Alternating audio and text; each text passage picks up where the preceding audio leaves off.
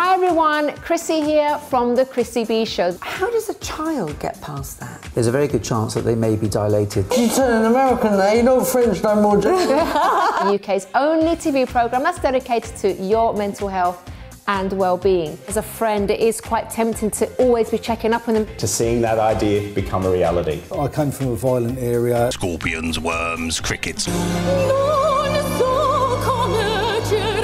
Join me every Monday, Wednesday and Friday at 10pm on my channel Sky 203.